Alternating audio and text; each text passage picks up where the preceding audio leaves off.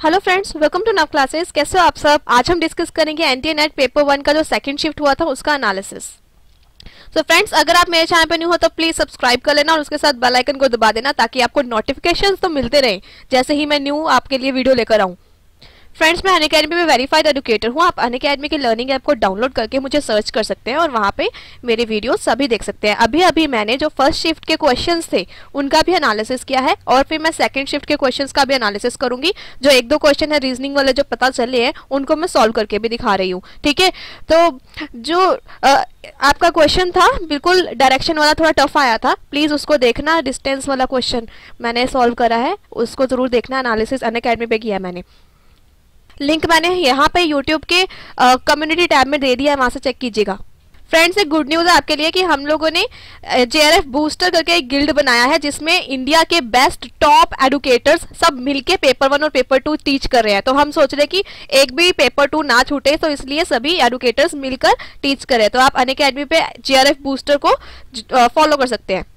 सो so, अभी मैं दिखाती हूँ कि मेरे कौन कौन से लर्नर्स ने क्या क्या बताया।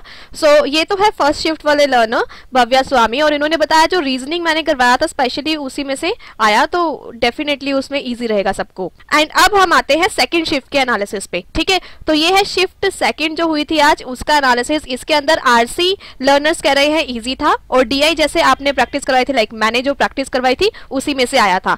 तो ओना होल आरसी बहुत ही ईजी आया सेकेंड शिफ्ट के अंदर और मेरे लर्नर्स का जो है अच्छा गया है तो इट मीन सेकंड शिफ्ट अच्छा ही था इजी था। ठीक है आरसी इजी था और डीआई मॉडरेट था मतलब टफ नहीं था। हम लोगों ने उसकी प्रैक्टिस करी हुई थी तो उसकी वजह से वो अच्छे से हो गया। और मैंने तो डीआई की वन रुपीज़ वाली क्लासेस भी बहुत सारी ली हुई थी तो उसमें से भी प्रैक्टिस हो गया। सो so, अब हम एनालिसिस पे आते हैं मेनली तो second shift as compare to first shift बहुत ही अच्छा रहा। इनका एग्ज़ाम अच्छा गया इजी रहा और टीचिंग एप्टीट्यूड के इसके अंदर आए थे फोर क्वेश्चंस और रिसर्च के ज़्यादा क्वेश्चंस आए थे। और रीजनिंग वाला जो पोर्शन है, वो भी काफ़ी आया था।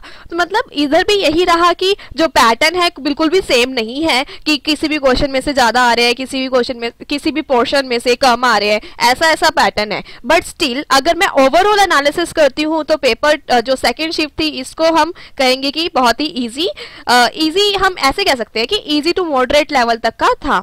इनका एग्ज़ाम अच्छा गया। जितनों से भी मेरी बात हुई है एग्ज़ाम ये सेकेंड शिफ्ट वालों का अच्छा गया है।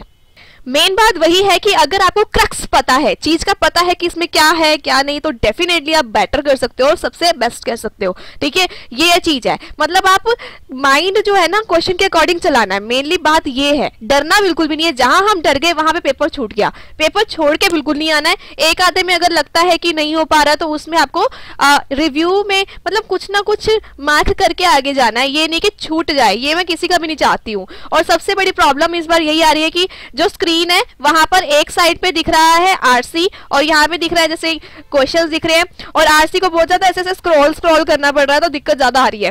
क्वेश्चंस में भी स्क्रॉल स्क्रॉल करना पड़ रहा है। मतलब बात एनटीए नेट ने वहीं पे लेकर आ गई। बात यह है कि पहले वाले एग्ज़ाम में हमें गोले गोले भरने में टाइम लगता था, ऐसे ऐसे टाइम लगता था। मतलब वही टाइम अब आपका ऐसे ऐसे स्क्रॉल करने में लग रहा है। और लर्नर्स कह रहे हैं कि उतनी देर में अगर क्वेश्चन भूल जाते हैं तो प्रॉब्लम इतनी हो जाती है कि भाई वो क्वेश्चन भी दोबारा स्क्रॉल करके ढूंढो। तो इसलिए आप आपको पता चल गया ना, ये प्रॉब्लम हो रही है। तो अब नेक्स्ट वाले स्टूडेंट्स क्या करेंगे? जैसे ही आपको ये क्वेश्चन दिख रहा है, उसको माइंड में बिठाने की कोशिश करो कीवर्ड क्या लिखा है। फिर क्वेश्चन आरसी वगैरह जो भी देख रहे हो, उसमें देखो। क्वेश्चन को माइंड में बिठाना ज़रूरी है।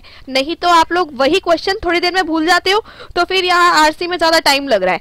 अदरवाइज़ आरसी बहुत ही इजी आया था, बहुत ही इजी उधर उधर पेपर वन में डीआई इजी आया, इनका आरसी इजी आया। इनका जो डीआई था, वो मॉडरेट लेवल का था। अगर उस, किसी पर्सन ने डीआई की अच्छे से प्रैक्टिस करी थी तो उसने बेस्ट दे दिया है। ठीक है?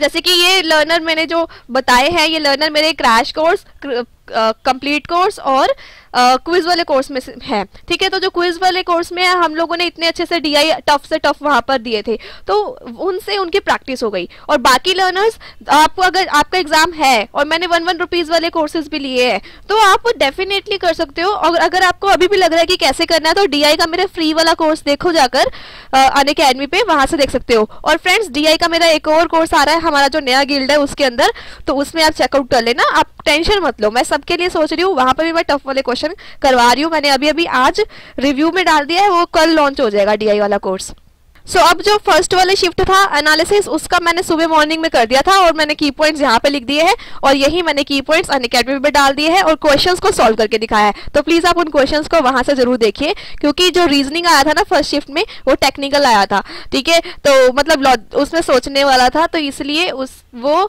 डिस्टेंस वाला क्वेश्चन था डिस्टेंस एंड स्पीड वाला क्वेश्चन था तो वो मैंने करना सिखाया कैसे होता है।